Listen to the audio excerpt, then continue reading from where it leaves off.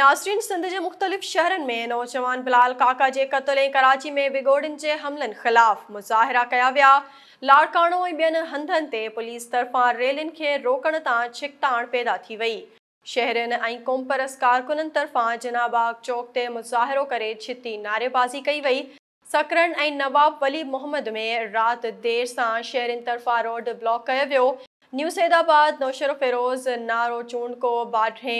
जमाल शाह ठुल टंडो आदम भिट शाह